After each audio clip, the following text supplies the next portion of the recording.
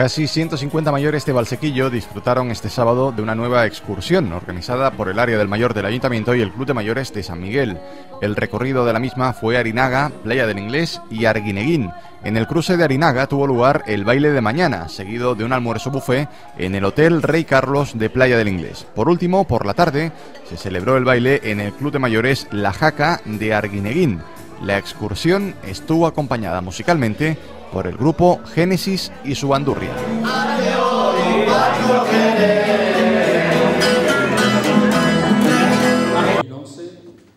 La agrupación juvenil La Parada del Rincón celebrará el próximo sábado 21 de enero la consecución del galardón Jóvenes Canarias 2011, otorgado por el Gobierno de Canarias. El acto tendrá lugar en el local social del Rincón de Tenteniguada a partir de las 8 de la tarde.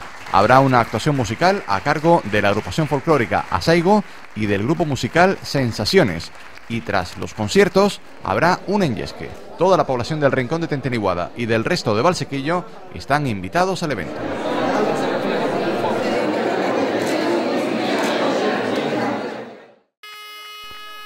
Pedro Peñate ha vuelto a ser historia por segunda vez. El piloto valsequillero ha logrado finalizar el rally más duro del mundo, el Dakar, tras el retraso que le produjo en la fase inicial de la prueba la ayuda que prestó a su jefa de filas, Rosa Romero.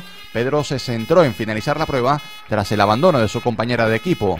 Los problemas de temperatura en su moto hizo que Pedro Peñate tomase más precauciones y procurase en todo momento cuidar la mecánica y disfrutar de la conducción a través de las dunas y desiertos de Argentina, Chile y Perú.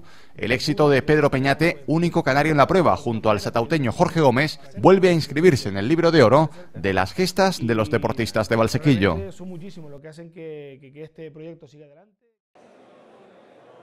El Club de Lucha Almogarén empezará este próximo domingo su participación en la Liga Interinsular de Lucha Canaria con la luchada que les enfrentará al Club de Lucha Aridane.